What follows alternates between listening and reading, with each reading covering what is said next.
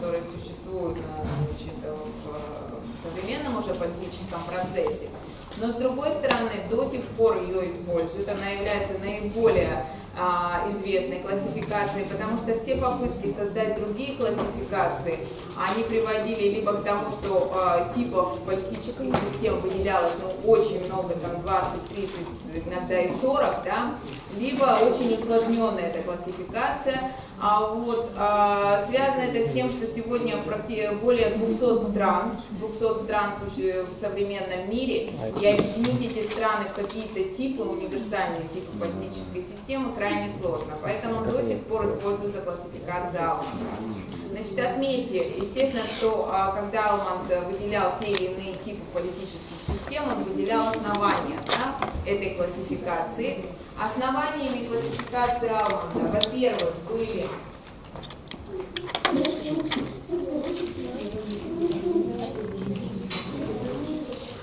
Основаниями классификации Алманда, во-первых, это разделение, система разделения властей. Значит, Алманд анализировал систему разделения властей, либо, как он писал, систему разделения ролей между институтами, то есть как те или иные политические институты взаимодействуют, есть ли доминирующие институты, нет этих институтов и так далее. Да? То есть систему разделения властей он смотрел, и во-вторых, он смотрел особенности политической культуры, политическую культуру особенности политической культуры рассматривал. То есть вот эти два основания легли а, в классификацию, в классификации Алмонда. И в результате он выделил четыре типа политических Леонид, систем. Моисей, Олег, Дима. Первый тип это англо-американские политические системы. Я, кстати, писал. Моисей. Моисей, нет.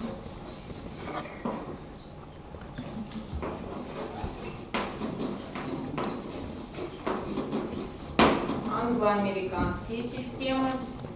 Но из названия понятно, какие страны относятся к этим системам прежде всего. Это Соединенные Штаты, это Великобритания, это Австралия, это Канада, это Новая Зеландия. Это страны с англо-американской политической системой. Значит, что касается разделения властей, то в этих системах, как считал Алманд, очень четкое и жесткое разделение властей, четкая система разделения властей. Каждый институт выполняет свои функции, нет доминирующих институтов, четкая система разделения властей. Каждый институт выполняет свои функции нет никаких доминирующих институтов. И что касается культуры, то Алман полагал, что в этих странах гомогенная культура, то есть однородная политическая культура, основанная на либеральных ценностях, на ценностях свободы, частной собственности, индивидуализма и так далее. Значит, культура однородная. Мы с вами в прошлый раз говорили, что сегодня это не совсем так, и в тех же штатах культура уже не столь однородная, но все равно а, эти ценности остаются, они объединяют, несмотря на множество национальностей, там, рас, которые проживают в Соединенных Штатах, а, различные политические течения, которые, ну, несмотря на то, что две партии доминируют, существует огромное количество общественных организаций, никому не придет никогда в голову оспаривать ценности свободы, частной собственности и так далее. Да? То есть это ценности, которые объединяют всех граждан. А вторым типом а, культур, вторым типом, а, вернее, политических систем являются континентально-европейские системы. Континентально-европейские. континентально-европейские системы. Они говорили, проверяли тест. Естественно, к этим системам относятся страны континентальной Европы. Прежде всего это Германия, Италия, Испания, Франция и так далее. Вектор плотности, потока вероятности, что такое? Германия, Испания, Франция.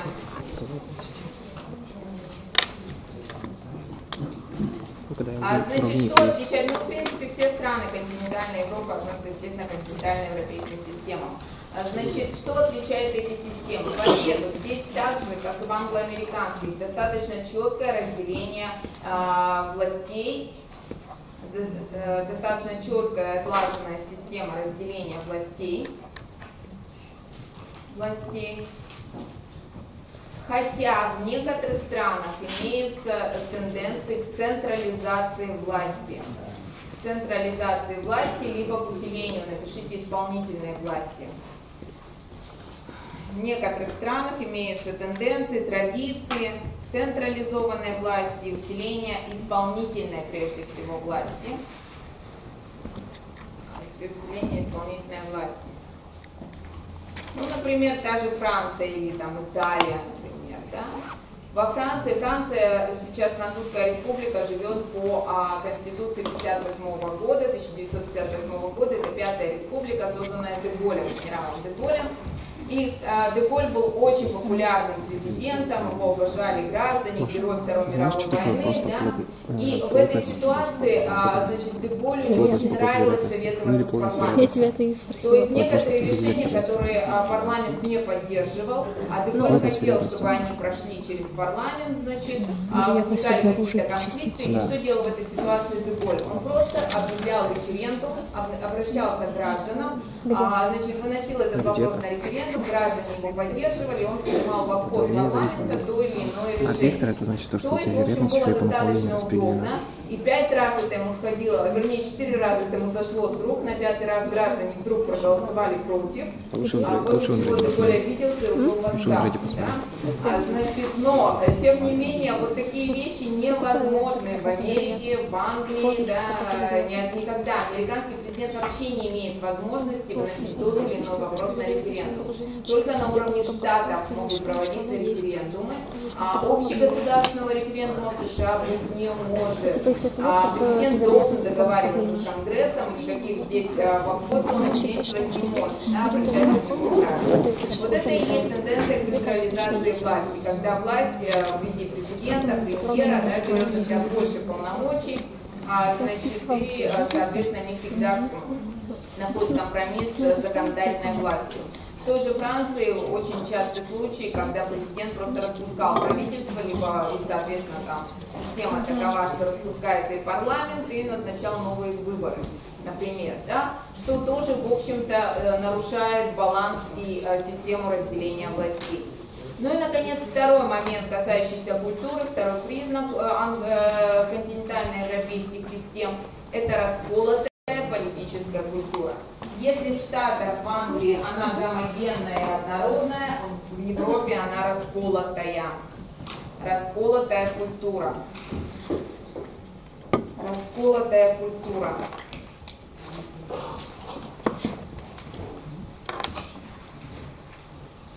Значит, во-первых, что означает расколотость культуры? А, означает это то, что а, в том или ином евро- европейском государстве сосуществуют различные группы населения. Как правило, речь идет о национальных группах, бывают и религиозные группы. Сосуществуют различные группы населения, которым очень сложно приходить к какому-то компромиссу к э, какому-то общему решению, компромиссу и так далее. Сосуществуют различные группы, чаще всего национальные либо религиозные, которым а, сложно приходить к общему решению, к общим решениям, к общему ну, там, компромиссу и так далее. Да? А, значит, это первый признак расколотости культур. А, например, приведите в пример такие страны, как Бельгия, Швейцария, а, Голландия. Это многосоставные общества, как э, значит, э, которые состоят из различных национальных, лингвистических, религиозных групп. А, И достаточно сложно а, здесь находить компромисс. Например, вот э, самый яркий пример это Бельгия. Бельгия вообще искусственно созданное государство из двух образований, где а, 56% а, населения Бельгии это фламандцы. И проживают они в регионе Фландрия. Да? Это голландцы, если так. попроще, да, сказать, но называются они аманцы. И 32% это баллоны, проживают они в Болонии, и это французы. А, значит, эти две группы населения, вот она э, поделена между этими районами, на эти два фактически региона, они э, не любят друг друга просто со страшной силой, да? то есть ненависть огромная. А самое интересное даже выражается в том, что процент межнациональных браков здесь крайне низкий, то есть несколько, живя в одном государстве, то есть живут достаточно замкнуто друг от друга. А более того, а, Фландрия очень а, экономически развитый регион, Волония более бедный, голландцы считают, что французы ленивые, они должны их кормить и так далее, и так далее. Поднимается всегда вопрос о том, что Фландрия будет отделяться, ну и тому подобное. То есть сосуществовать этим группам вместе достаточно сложно. С учетом демократии, как вы понимаете, доминируют фламандцы, и поэтому, опять же, французам сложно провести своих представителей в структуры власти. Поэтому вот отметьте, что несмотря на эту расколотость, когда мы говорим о различных национальных группах, во всех европейских странах существуют политические механизмы урегулирования этих конфликтов. То есть э, эти группировки, не ска... Э, противоречия между этими группами не скатывается это все в насилие, да, к насилию не сводится, а находят политические механизмы для того, чтобы урегулировать вот те или иные проблемы и противоречия.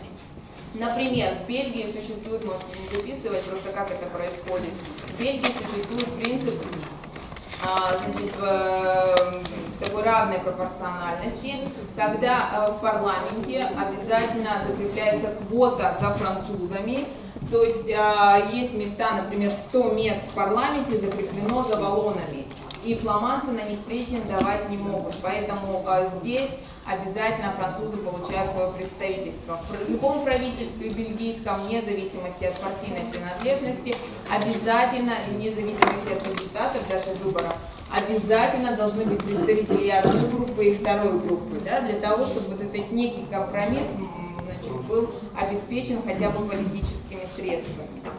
Вторым моментом, второй особенностью расколотости систем, если мы говорим о современной уже Европе, отметьте, является, конечно, миграция. Глобальная проблема современной Европы – это миграция, которая делит европейские государства и усиливает вот эту расколотость. Сегодня в любом европейском государстве 10-12% это мигранты, то есть я говорю о, о гражданах государства. Например, во Франции да, сегодня уже порядка 15% это арабы, да, арабское население. То есть это не те, кто приехал и имеет просто вид на жительство, а это уже граждане да, государства, это бывшие мигранты, либо там дети мигрантов, да, Естественно, как правило, это а, мусульмане, либо это там индийцы, пакистанцы, разные, тут зависит все уже от конкретного государства.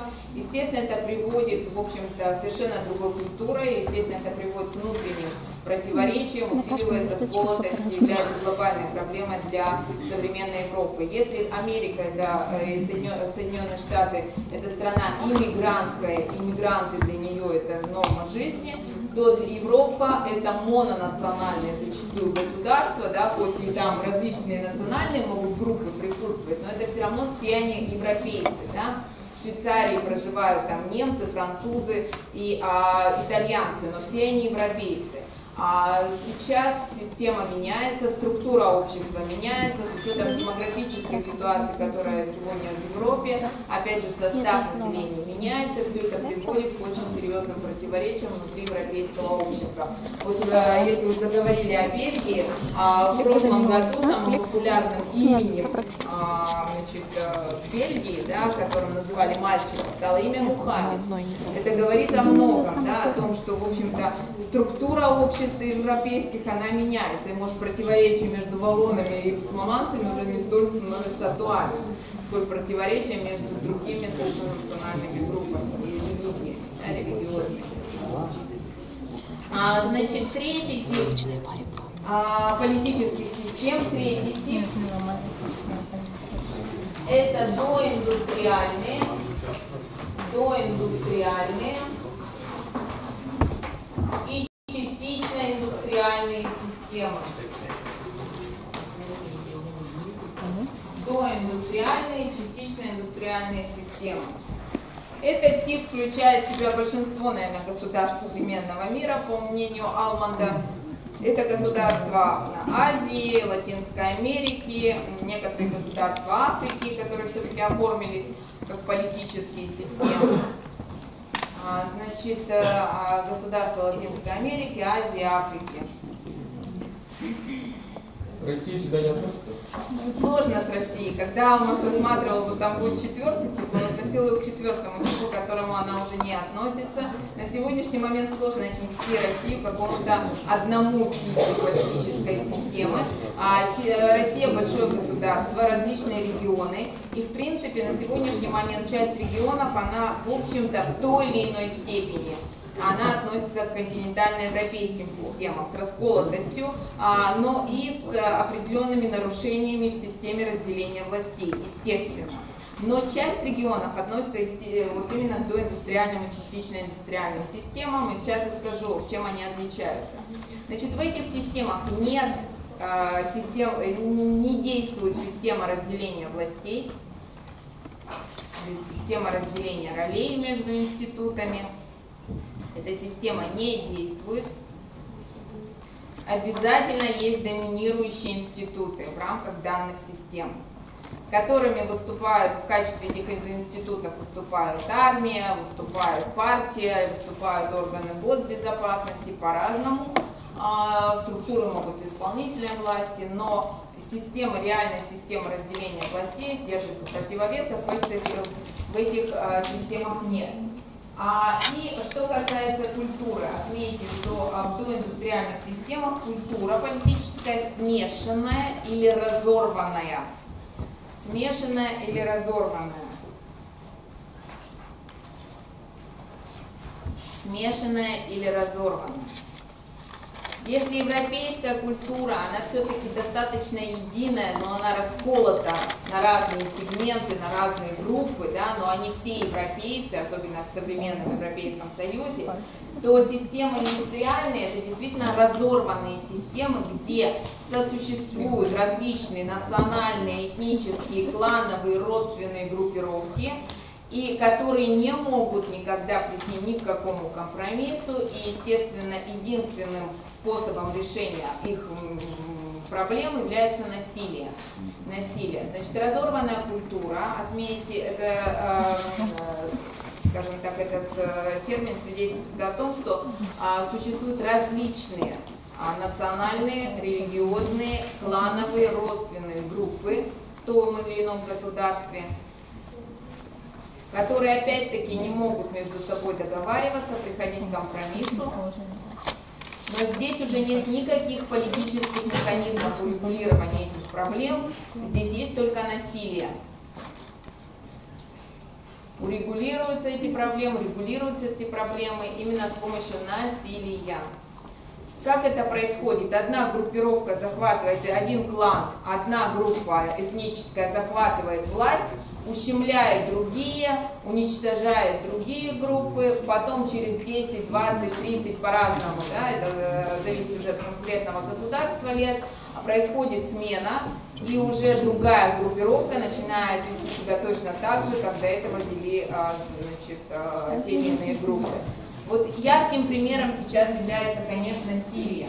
А в Сирии, если вы следите немножечко там за политическим процессом, да, то знаете, что в Сирии идет война гражданская, по сути, религиозная вообще-то война, и в основе религиозный э, конфликт. А 10, ну, по разным оценкам, 12% населения Сирии алавиты. 80% населения Сирии это сунниты. Значит, и сунниты, это можете не записывать, да, естественно. И сунниты, и алавиты – это мусульмане. Но в мусульманстве, так же как в христианстве, существуют э, направления. В христианстве это, там, это православие, католицизм, протестантизм, а в мусульманстве есть сунниты и есть шииты. Шииты. Вот это два основных направления. Алавиты всегда рассматривали как секта вообще в мусульманстве, а сунниты к ним относятся крайне негативно, но последние там 20, где-то 30 лет они, в общем-то, приближаются. Вот к шиитам. Шииты их приняли, и, в общем, их уже называют, ну, это не совсем шииты, но, в общем, близкие к шиитам. А президент Сирии Башар Асад, так же как его отец Хафиз Асад, который захватил в 70-е годы власть в Сирии, они принадлежат вот этой группе. Вся армия Сирии, которая является доминирующим институтом Сирии, 90% это алавиты. А, значит, э, и, соответственно, вот эта группа, она подавляет остальное большинство населения. Да? А, этот режим существует, еще раз повторю, достаточно давно, 70-х годов. И а, естественно, что те конфликты, которые с помощью насилия, там, авторитарной власти как-то решались, сейчас значит, в силу там, различных уже изменений, а это все выплескивается в гражданскую войну. Вот это классический такой пример до индустриальных и частично индустриальных систем. Если мы берем Россию, то, конечно, к подобным типам систем у нас относится Северный Кавказ, конечно. Да? А если, допустим, возьмете Дагестан, то там власть делится между, там пытаются найти компромиссы, скажем так, между различными кланами. Там три основных клана – один клан, а, который, а, значит, представитель которого президент республики, второй клан, представитель второго клана основного, это глава Госсовета, то есть законодательной власти республики, представитель третьего клана, мэр а, столицы республики Махачкалы. Соответственно, вот, но тем не менее, значит, э, прийти к какому-то компромиссу там сложно, и там выборы, например, всегда проходят а, в форме перестрелки. Да? То есть, естественно, что а, здесь говорить о каких-то политических урегулировании политических проблем крайне сложно. Если вы возьмете современную Чечню, например, Чеченскую республику, то там просто один тейп, там тейповая система, ну род фактически, клан также, да, он э, значит, сегодня доминирует в системе, а подавляя все остальные группировки. А, соответственно, это тоже вот пример доиндустриальных и частично систем.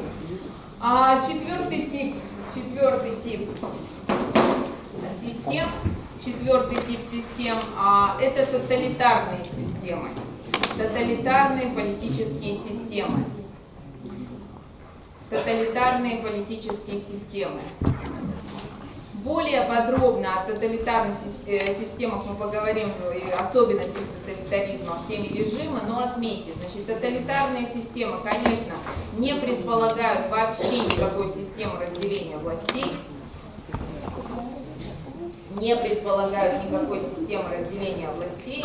Вот когда Алманд э, составлял эту систему в 70-е годы, хотя сложно уже говорить о тоталитаризме в Советском Союзе, но тем не менее он относил ближе к тоталитарным системам Советский Союз. На сегодняшний момент классической тоталитарной системой является Северная Корея, да, в качестве там, примера можете отметить. Другие страны все-таки это уже эм, более мягкие типы режимов и систем. А, значит, э, нет никакой системы разделения властей, доминирующим институтом всегда выступает политическая партия.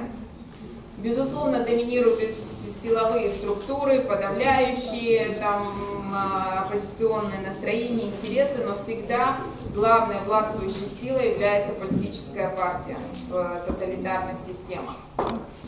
И а, что касается культуры, то культура здесь достаточно однородна, достаточно однородна. Но эта однородность достигается не общими ценностями, да, которые разделяют граждане, не каким-то общим этническим, не на, строится не на общих этнических, национальных основаниях, а на тотальной идеологии. Идеология, которая контролирует все сферы жизни человека. Идеология, которая, а, которую разделяют граждане, руководство, да, и несмотря на то, что ее могут не все разделять, тем не менее она доминирует и этим объединяет это государство. Объединяет это государство. То есть вот это отличительные признаки тоталитарных систем. Последнее, что запишите вот в э, теме э, политической, в политические системы, это то, что вне зависимости от э, вообще характера политической системы, от того или иного государства, самым главным, когда мы говорим о политической системе э, и анализируем политическую систему, то, э, безусловно, политическая система должна быть адекватна тому обществу, той истории, той культуре, в которой она возникает. И поэтому значит, основным, когда мы говорим о политической системе, является ее адекватность, потому что если вы ее, если вы те или иные институты, те или иные характеристики а, какой-то страны переносите в другую страну, то не всегда, естественно, здесь получается хороший результат. А, значит, адекватность и эффективность. Второй основной момент при исследовании политических систем – это эффективность системы. Нет хороших и плохих систем, но система, безусловно, должна быть эффективной. Эффективность системы – это уровень жизни ее граждан. Какой бы она ни была, авторитарной, демократической, главный показатель – это жизнь граждан, уровень жизни граждан, качество жизни граждан. А естественно, что если мы берем статистические данные, то, конечно, демократические государства, они здесь идут впереди других государств да, по уровню качества жизни, поэтому считается, что эти системы более эффективны. Но а, именно потому, что эффективность является главным здесь показателем. Так, давайте перерыв сделаем. Значит, работы возьмите, У меня еще бабушка болеет. А, тему политическая система. Отметьте, что э, мы с вами об этом говорили, что двумя основными политическими институтами являются государство и гражданское общество. Именно их взаимодействие и определяет Ну, он же сказал, что характер, действия, качество, характеристики той или иной политической системы. Отметьте, что двумя главными сказал, институтами да? государство и гражданское общество. И на ближайших лекциях мы с вами будем рассматривать, что из себя представляет государство как политический институт. Значит, государство и общество – это два основных политических института, и мы с вами начинаем рассматривать государство как глобальный политический институт. Что он из себя представляет? Значит, отметьте, что государство – это а, политическая целостность, политическая целостность, которая закреплена на определенной территории, либо находится, находящаяся на определенной территории. Государство – это политическая целостность, которая находится на определенной территории.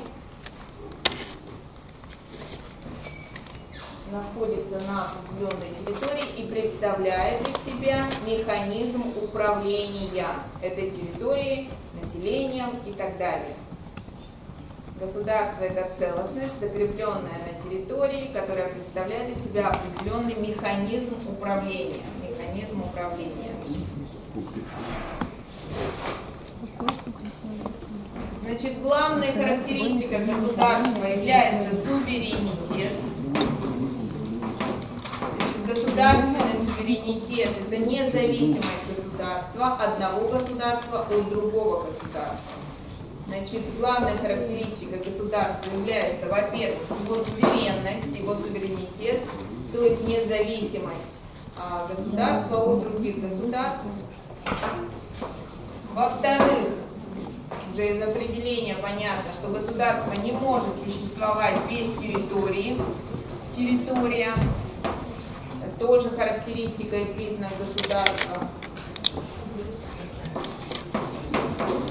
Третье – это население, население, которое находится а, в юридических отношениях с государством в виде там, системы гражданства или системы подданства.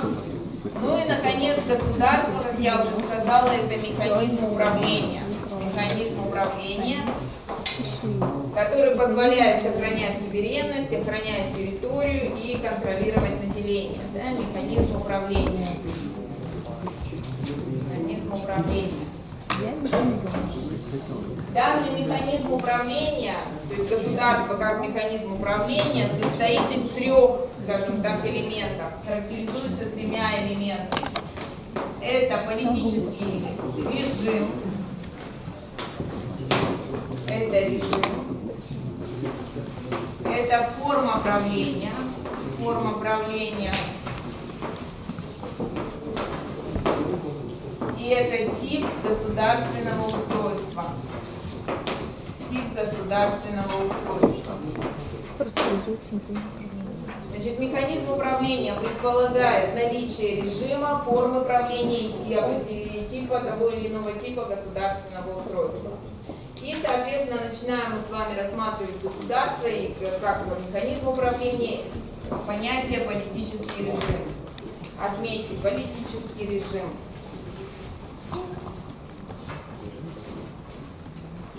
Режим. Что такое режим?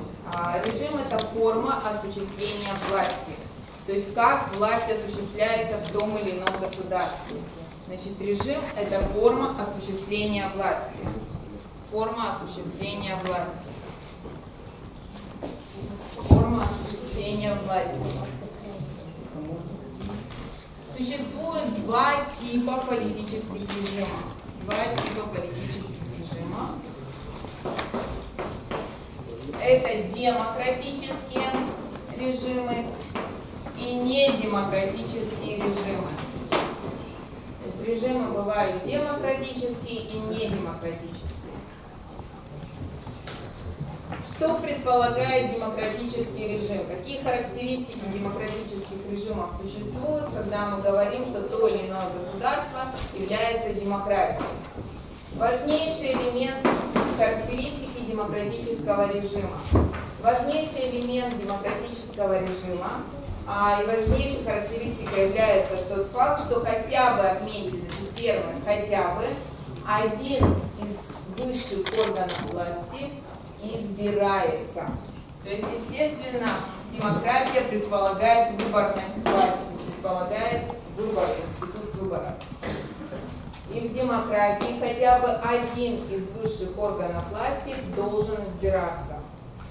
А, все зависит уже от конкретной конфигурации политического режима. Может избираться один орган высшей власти, может два органа высшей власти. В России мы сколько органов высшей структуры высшей власти избираем? Две. Две, так, это Дума. Дума и Президент. президент. Абсолютно верно. Например, если мы берем Великобританию, избирается только один орган высшей власти, это парламент, палата парламента, палата общин. Это не влияет на демократичность, но, соответственно, значит, э, э, выборы обязательно должны быть а, в демократии. Второй отличительной особенностью демократии является то, что а, является характер выборов. Потому что выборы проводятся и в недемократических режимах. Но вопрос, какие это выборы, да? Значит, отметьте, выборы должны быть честными и соревновательными. В демократии выборы должны быть честные и соревновательными. Что за смех? Честные и соревновательные выборы. Что означает честность выбора? Значит, у нас даже существует такой лозунг в последнее да, время за честные выборы.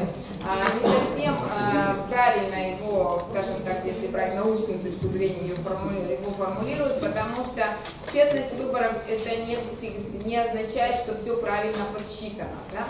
Потому что если все неправильно посчитали, а, то это, в общем-то, нелегальные выборы, незаконные выборы, где уже тут ни о какой честности или нечестности не говорится. Да? Если действуют все по форме, а, по, форм, а, по, формулировке Сталина, так скажем, а, он в свое время сказал о том, что неважно, как проголосуют, главное, как посчитают. Вот если посчитают, как хотят, да, то, соответственно, это уже нелегальные, по сути, выборы. Честность в выборах, прежде всего, когда говорят о честных выборах, имеет в виду а, существование оппозиционных, не подчиненных государству средств массовой информации. Существуют независимые СМИ, через которые оппозиционные политические силы могут довести свою точку зрения, могут довести свои э, там, предложения до избирателей. То есть, что существуют независимые, неподконтрольные государству средства массовой информации, которые позволяют обращаться к избирателям, оппозиционным партиям. Э, по-разному, опять же, в разных странах. В Америке, например, не существует вообще государственных средств массовой информации. Есть одна государственная радиостанция «Голос Америки», но вещает она вне США. Внутри США она не вещает. А, значит, это не, не говорит о том, что американские СМИ абсолютно все независимы от власти. А, значит, власть влияет, но тем не менее существуют независимые средства массовой информации, которые представляют интересы там, различных, либо средства массовой информации, которые представляют интересы различных там, политических сил. Вот. И естественно, что а, это позволяет различным политическим партиям, ну, основным партиям в Соединенных Штатах доводить э, там, свои предложения до избирателей. В Европе очень большой процент э, государственных СМИ, тем не менее есть СМИ независимые. А соревновательные выборы, отметьте, а речь идет о том, что все легальные партии могут принимать участие в выборах. Все легальные политические партии могут принимать участие в выборах. Легальные, то есть зарегистрированные партии, а, как правило, а, в любой стране существует процедура регистрации партии, и она Э, здесь на этом этапе отсекаются там ультранационалистические, фашистские, неонацистские и другие там политические силы. Но все легальные партии, которые существуют, они должны спокойно и без всяких там а, претензий к ним со стороны действующей власти принимать участие в выборах. И для регистрации на выборах не должно служить э, значит, таким политическим силам чиниться никаких препятствий. А, значит, э, следующая характеристика, отметьте, третья особенность а, демократии – это соблюдение прав человека. Значит, выборы должны быть, они должны быть честными соревновательными, обязательно должны соблюдаться права человека в демократии, права различных меньшинств, национальных меньшинств, религиозных, э, разные точки зрения, а, э, люди должны быть и э, власть должна быть толерантна совершенно другим точкам зрения, оппозиционным точкам зрения и так далее. И права человека, конечно, обязательно соблюдаются в той или иной степени соблюдаются в демократических странах. Что касается недемократических режимов, а здесь мы не будем перечислять какие-то характеристики, но отметьте, что зачастую в недемократических режимах выборы проводятся но эти выборы не являются ни честными, ни соревновательными, и, естественно, а, никакие права человека в недемократических режимах, опять же, не соблюдаются. Существует три типа демократических режимов. Значит, мы с вами поделили режимы, бывают демократические и недемократические. Какие типы э, тех или иных режимов существуют? Что касается демократических режимов, существует три типа демократических режимов. Во-первых, это президентский режим. Президентский.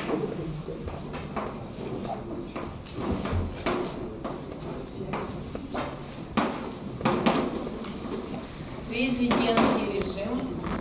Классическим типом президентского режима являются Соединенные Штаты Америки. Классический тип президентского режима классический тип. Также можете отметить, страны Латинской Америки, большинство стран это страны с президентским режимом. Там, возьмите там, Аргентина, Бразилия, страны с президентским режимом. Россия не является страной с президентским режимом. Несмотря на то, что власть президента огромная, и наш режим там называют и суперпрезидентским, как я уже говорила, гиперпрезидентским, да, но тем не менее по целому ряду характеристик, главной ключевой характеристики, он не относится к президентскому режиму. Что предполагает президентский режим? Первое. Это жесткая система разделения властей. Жесткая система разделения властей, в которой избираются две структуры высшей власти, президент и палата парламента. Система разделения властей жесткая, избираются две структуры высшей власти, палата парламента, законодательная власть и президент. И президент. А, отметьте, что а, президент в президентском режиме, это главная характеристика этого режима, является главой исполнительной власти. То есть фактически избирается законодательная власть и власть исполнительная. президент в этом режиме глава исполнительной власти. Кто в России глава исполнительной власти? Премьер-министр. В Америке никаких премьеров нет, правительств, э, у них нет даже правительства. Да? А, значит, все ведомства, есть ведомства, которые напрямую подчиняются президенту. Президент, глава исполнительной власти, глава государства, главнокомандующий и так далее. Что касается России, то есть глава государства является президент, есть исполнительная власть, которую возглавляет премьер.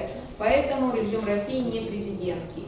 А, значит, отметьте, что между президентом, исполнительной властью и парламентом, да, законодательной властью действует система сдержек и противовесов.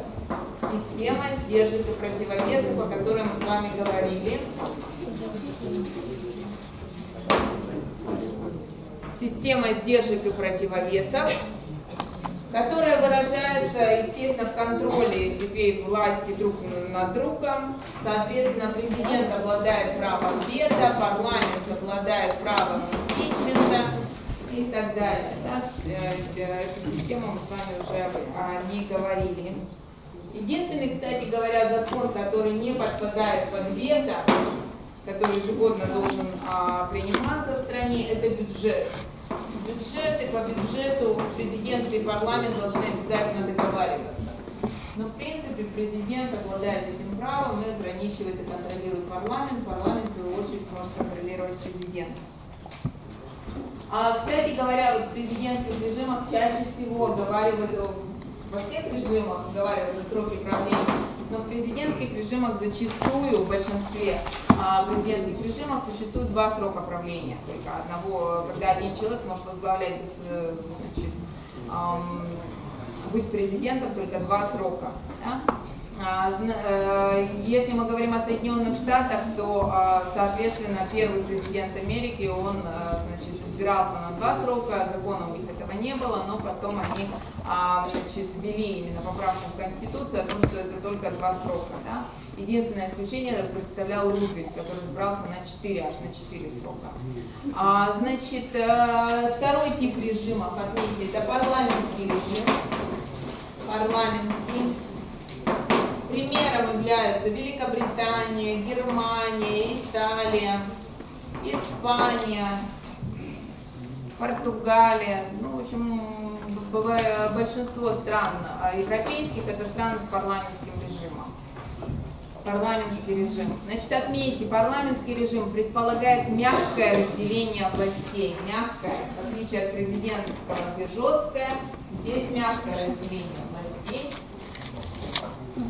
избирается один высший орган власти, это палата парламента. Почему мы его не можем представить в виде типа, ну, когда расписать Е и КХ, как типа косинус плюс и синус Х. Мягкое разделение властей в ну, хочешь синус, а косинус избирается один высший орган ну, власти, это парламент. Это не на этот ответ. Бывает, что в парламентских режимах Мне сказали, что это неправильно. Я подумала, может быть, это потому что плоская волна, если бы была сферическая, то да. Там косинус синус. А такая типа косинус плоского на смысл. Парламентский а, главным действующим лицом является парламент, избирается палата парламента, да, то есть законодательная власть. А ну, короче, плоская волна, у меня же витая, а сферическая вместе с ней витая стоят. Просто из-за этого. Ну, то есть, а из кого назначает парламент? Ну, из своих. Из каких? Вот прошли выборы, и, соответственно, прошло там 4-5 партий. Кто формирует правительство? Ну, лидеры, по-моему, партии. Партия, победившая на выборах, формирует правительство, ее лидер становится премьер-министром. Значит, отметить, в парламентском режиме исполнительную власть формирует власть законодательная, а Бакумов кто спросил, я ему сказала, ну, мы можем ставить как Исполнительную власть формирует законодательная власть, то есть парламент. Партия, которая побеждает на выборах, формирует правительство, ее лидер становится премьер-министром. Премьер-министром. По-разному можно называться, канцлер, например. Но тем не менее, значит, формирует правительство, ее лидер становится премьером. Премьером. Поэтому мягкое разделение властей. Избирается одна ветвь власти, которая потом формирует вторую ветвь власти, исполнительную власть. Но здесь возникают следующие сложности, которые а, присущи всем парламентским режимам. Отметьте, что только Великобритания э, могла до 2010 года формировать однопартийное правительство. Только в Великобритании формировалось однопартийное правительство. На последних выборах даже в Великобритании не получилось сформировать однопартийное правительство, и а, консерваторам, которые победили, пришлось объединяться а, с демократами. А, значит, отметьте, что а, значит, не, э, только Великобритания благодаря избирательной своей системе она может формировать правительство однопартийное. Чаще всего а, в парламентских режимах правительство коалиционное. Отметьте, коалиция. Представьте ситуацию. Значит, партия, одна партия набирает на выборах 31%, например, Вторая партия набирает 20%. Третья партия набирает, пусть тут будет 22, тут 21%, четвертая 15%. Да? Кто формирует правительство? Чтобы сформировать однопартийное правительство, надо 50% плюс один голос получить на выборах. Ни одна партия не получила а, абсолютного большинства. Соответственно, что делать? В этой ситуации? Кому с кем можно договориться? Ну, может договориться первая и вторая партия, может договориться первая и третья партия, сформировать партийное правительство, да? А в любом случае, партия, которая побеждает на выборах, она правительство э, прежде всего формирует, ее лидер всегда премьер-министр. Но правительство может быть коалиционным, и здесь коалиции могут быть двухпартийные, трехпартийные, иногда и больше. Отметьте, что бывают режимы устойчивых коалиций, устойчивых коалиций, когда а, там две партии постоянно находятся или три партии в коалиции и, соответственно, всегда формируют вместе правительство. Пример Германия. Германия. В Германии эта коалиция выглядит следующим образом. ХДС плюс КСС, Христианско-демократический христианско-социальный союз. А лидер христианских демократов Меркель, она является сейчас канцлером Германии, но на последних выборах даже этому блоку не удалось набрать большинство голосов, и они еще а, к своей коалиции добавили свободных демократов. Но, тем не менее, вот если взять э, историю Германии, то эта коалиция очень устойчива. Другой коалицией является СДПГ, социал-демократы Германии, которые обычно объединяются зелеными. Зеленые – это экологическая партия Германии. И вот эти коалиции друг друга меняют. То есть а, до Меркель канцлером был лидер социал-демократов Шредер, и вот была эта коалиция у власти, Меркель пришла на место Шредера, стала эта коалиция у власти. Они постоянные, устойчивые и стабильные. А есть страны с неустойчивыми коалициями. Яркий пример Италия. Страны с неустойчивыми коалициями.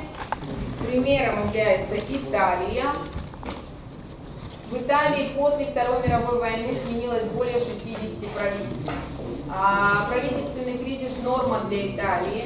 А, значит, э, бывали э, периоды, когда за год менялось по два, по три правительства, то есть назначались новые выборы, и э, правительство не могли сформировать, либо оно проработало там месяц, два и так далее. А, значит, естественно, что когда там 3-4 партии организуют правительство, то в этом правительстве очень сложно даже а, одной из ключевых проблем всегда является дележ портфелей министерствах, потому что вот представьте, а, вы из разных групп, да, вы сформируете какое-то ваше общее правительство и будете определять, кто кем министром, а, а, кто каким министром будет. Есть посты очень востребованные, очень престижные министерские, есть посты непрестижные. Естественно, что все хотят быть министрами чего, каких министерств? Обороны, еще финансов, это главное министерство, которое все хотят возглавить, обороны, иностранных дел. Никто не хочет никогда быть министром труда, например, социальных, там, э, социального развития или, я не знаю, культуры и так далее. Да? А поэтому даже на этом этапе могут возникнуть очень серьезные противоречия, когда не могут договориться в результате новые выборы, новое формирование правительства. А третий тип режима, третий тип режима, это полупрезидентский либо смешанный режим. Третий тип э, демократических режимов – полупрезидентский режим. Полупрезидентский режим. Значит, классическим примером полупрезидентского Ну, режима является Франция. Гитлера. Франция. Ну, так вот, полупрезидентский либо типа, смешанный режим, почему который имеет признаки и президентского, и парламентского режима, почему Ну. называется Ну. Ну, смешанным. там же все равно можно. А, полупрезидентский режим. Ну, Франция потом. также Ну, если ты, короче, относится, смотри. а, Польша, Украина, Как здесь переписать Россия. косинус? Перепиши просто например, численность тоже косинус. Ну, листочки один. Польша, Турция, Украина, Россия. Но классический пример именно Франция. Российский режим в корне отличается от всех полупрезидентских режимов, вот, но мы о нем отдельно поговорим. А, значит, э, в полупрезидентском режиме а, значит, отметьте, избираются два высших органа власти.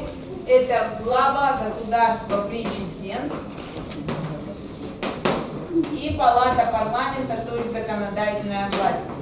Избираются два высших органа власти. Глава государства, президент и палата парламента, то есть законодательная власть. Президент, глава государства, главнокомандующий, обладающий огромными полномочиями в полупрезидентском режиме. А, Значит, их записывать не надо, но он там определяет внешнюю политику, основные приоритеты во внутренней политике, назначает целый ряд должностных лиц и так далее, и так далее, вводит чрезвычайное положение. Но единственный Ой, нюанс есть состоит в том, что президент не является главой исполнительной власти. Ну, есть Отметим, именно внутри. Просто такая единица. президент не глава исполнительной власти. Исполнительная власть представлена правительством во главе с премьер-министром. Значит, исполнительная власть представлена правительством во главе с премьер-министром. Ну, естественно, здесь есть и судебная власть во всех системах. Откуда и как формируется, как формируется, каким образом формируется исполнительная власть в полупрезидентском режиме. Президент Это в России. А вообще в, президент, полупрезидентском режиме исполнительная власть формируется точно так же, как и в парламентском режиме. Проходят выборы, партия, победившая на выборах, формирует правительство, ее лидер становится премьер-министром. Отметьте, что в полупрезидентском режиме правительство формируется парламентом, парламентским большинством. Полупрезидентском режиме правительство формируется парламентским большинством. Парламентским большинством. Лидер партии, победившей на выборах, становится премьер-министром. Становится премьер-министром. А, Отличительной особенностью также э, полупрезидентского режима является то, что правительство несет двойную ответственность перед парламентом и перед президентом. Отличительная особенность полупрезидентского режима состоит в том, что правительство несет двойную ответственность перед парламентом и перед президентом. Президент может распустить правительство. Парламент может выразить вотум недоверия правительству. То есть правительство это такой третий центр власти между парламентом и президентом. И находится между двух огней, между э, вот, э, законодательной властью и президентом. Президент может распустить а правительство, парламент может выразить вотум недоверия.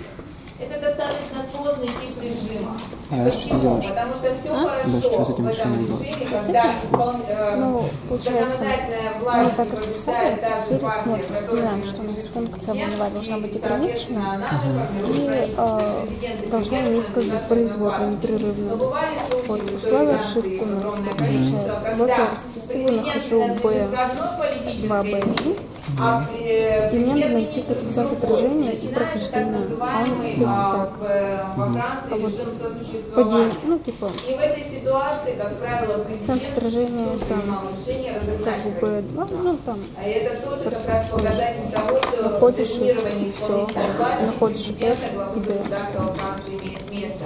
Парламент один раз только выразил Ну-ка поддержку назад доверия а, значит, э, отметьте, что а, недемократические Ну, я думаю, что, короче, просто удобнее честь комплексно вот так вот. что- Я тоже думала, что просто удобно. Смысл расписывать. Но если ты распишешь, по идее, расписывать всегда можно через сеанскую сеанску президентский, парламентский и полупрезидентский Ты режим. попробуй все, что вот там вот сделано, сама Но проделать там всему не соблюдаются, конечно, условия демократии, выборы проходят нарушения, права человека не соблюдаются. Основные типы недемократических режимов мы с вами чуть позже рассмотрим. Давайте начнем рассматривать российский режим, да, как раз сразу было понятно, в чем отличие в российском режиме. Вопрос о его демократичности, конечно, это открытый вопрос, да, очень такой спорный. Но, тем не менее, значит, что из себя представляет российский режим? Значит, российский режим находит свое отражение в Конституции 1993 года и представляет собой полупрезидентский тип режима. Вместе с тем очень специфический тип режима. А, значит, э, главой государства в российском режиме, избираем, э, который избирается всеми гражданами, является президент обладающий просто огромными полномочиями. Глава государства, главнокомандующий назначает референдумы, вводит чрезвычайное положение, вся Полупрезидентский. внешняя политика находится в руках президента, определяет направление внутренней политики, назначает должностных лиц и так далее, и так Он далее, и так далее. Значит, вроде слышал, а, но вместе с тем президент России не глава исполнительной власти. Значит, отметьте, президентом может стать а, кто у нас? Какие ограничения существуют для Старше 35 лет. возраст 35 лет, гражданин Российской Федерации. Что? Ну да, там есть моральные такие э, цензы, там насчет э, судимости не погашена. Отслужил в армии. Судимость погашена? Не, но когда судимость погашена, то не считается. А, да. Что что Образование не требуется. Отдельно не оговаривается. У нас никаких, э, кроме судебной власти, вообще образование к нашим чиновникам, к нашим чиновникам не оговаривается. Значит, а, кстати говоря, ну давайте напишем еще одно ограничение. 10 последних лет он должен проживать на территории Российской Федерации. 10 последних лет должен жить на территории Российской Федерации. Если человек работал послом в Соединенных Штатах, он не может баллотироваться в президенты России. 10 последних лет ценз оседлости, так называемый, должен проживать на территории России. Интересный момент, что в Российской Конституции написано, что он должен быть гражданином Российской Федерации, но нет пункта о том, а, что он должен родиться на территории Российской Федерации. В Соединенных Штатах существует как раз Конституция оговорка, что только человек, родившийся на территории США, может стать президентом.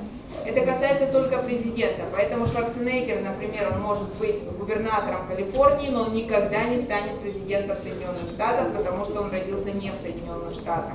Там Обамой было очень много вопросов, родился он на территории или не родился.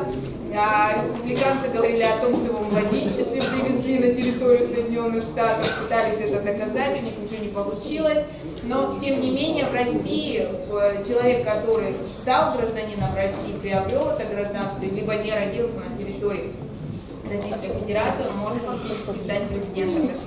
То есть, если в США даже где в поездке родился ребенок, то он уже не сможет стать. Нет, нет. Он, не- он должен родиться, там прям так написано, на территории, потому что а, у «Сутулов там был как раз вопрос, что он, его там в две или три недели привезли значит, на территорию США, то есть, ну, грубо говоря, там, может, и в поездке он родился, да, вот, но, значит, э, не смогли это доказать, если бы доказали, то они бы оспорили его президентство. А, значит, один и тот же человек, напишите, не может быть президентом страны России, один и тот же человек не может быть президентом России более двух сроков подряд. Более двух сроков подряд. Формулировка интересная, которая, естественно, а, привлекла внимание всех, да, и а, в Конституционный суд обратились с вопросом, что такое два срока, не более двух сроков подряд. Означает это, что два срока и на этом все, или это означает, что сроков может быть 20, 30, быть там 100, но с перерывом, да, то есть два срока подряд, перерыв, потом опять два срока. А Конституционный суд сказал, что сроков может быть сколько угодно, но только обязан человек сделать перерыв. То, что и сделал а, наш президент сегодняшний, да, когда он два срока пробыл президентом, после этого 4 года ушел на должность премьер-министра, да, и сейчас спокойно Конечно. уже может быть а, не только на третий, но и на четвертый срок баллотироваться. Срок президентских полномочий сейчас составляет 6 лет. С 2008 года 2008 года. До 2008 года срок составлял 4 года. Президент Медведев, вновь избранный, это один из первых а, решений, его инициатива была увеличить сроки полномочий президента. Для него это игра не играло никакой роли, потому что закон обратной силы не имеет, естественно, он пробыл 4 года, но подарок своему преемнику он сделал хороший, да, то есть 6 лет прибавил еще 2 года президентских полномочий. А, значит, помимо президента а, избирается, отметьте, а, помимо президента избирается палата парламента. Тише. Палата парламента. Вообще парламент России называется Федеральное собрание Российской Федерации. Вот так называется российский парламент, Федеральное собрание Российской Федерации, которое состоит из двух палат. Государственная Дума и Совет Федерации. Совет Федерации. Две палаты в парламенте, Государственная Дума и Совет Федерации. Избирается одна палата, Государственная Дума. Государственная Дума. Избирается Государственная Дума. Значит, государственная, депутатом Государственной Думы может стать человек, а, гражданин России, опять же, какой здесь возрастной ценз? По 18. Нет. 21 год должен исполниться. 21 год. Больше никаких ограничений для депутатов нет. Опять же, не э, там, образовательных, имущественных и так далее. Да, никаких центров. Гражданин России и 21 год должен исполниться. То есть коммерческую деятельность должен только в случае избрания прекращать, да?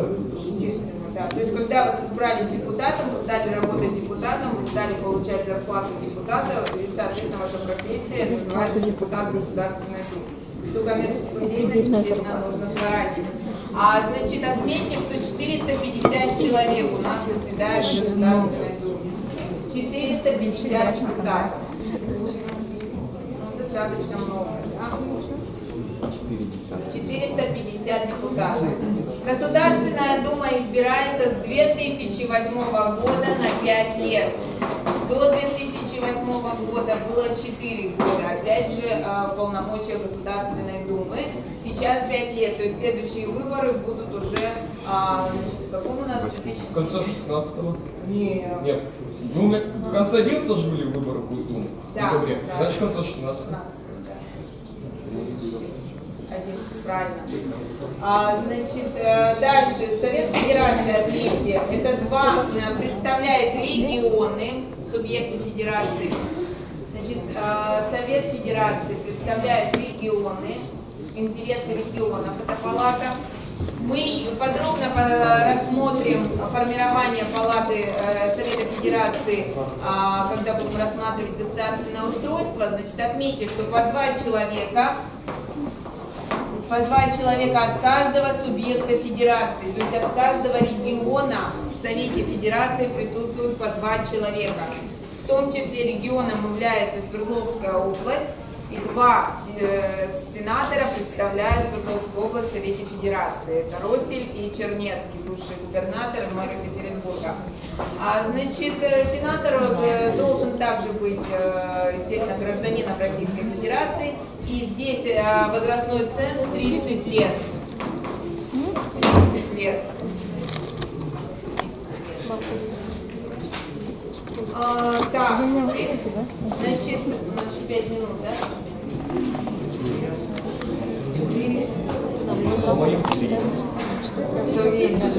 Ладно, давайте сегодня закончим. Да?